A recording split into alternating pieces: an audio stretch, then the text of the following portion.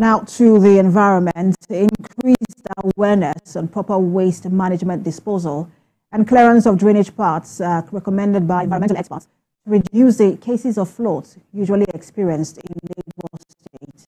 Esther Mokbariola has details in this report. And then we will return with a business update.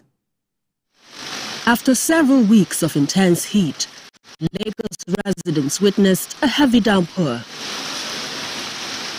Reports emerged of submerged areas within the metropolis.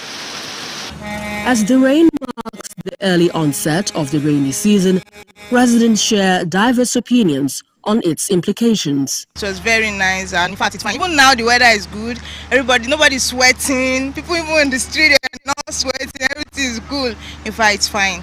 We are all crying that we don't have food and you know rain is for harvest. So when you quit rain, it's for harvest. So when there is rain, a bumper rainfall, we should expect a bumper food. The only challenge we have is um, our flooding system. Yeah, our drainage system rather.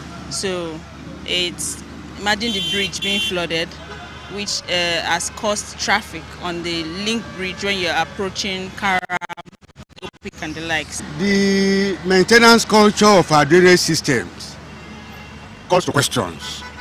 There has been no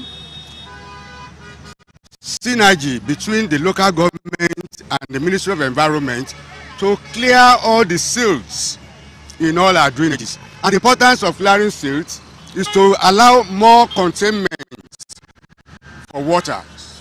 For this environmental expert, the early rains is a natural occurrence, but it is time for relevant authorities to clear drainage paths to mitigate flooding impacts. There should be that immediate um, uh, identification of major outlets that are impacted by human activities. This thing doesn't have to be done by the government alone. There should be immediate response where all neighborhoods, uh, CDAs mobilized now to ensure that all drains are cleared.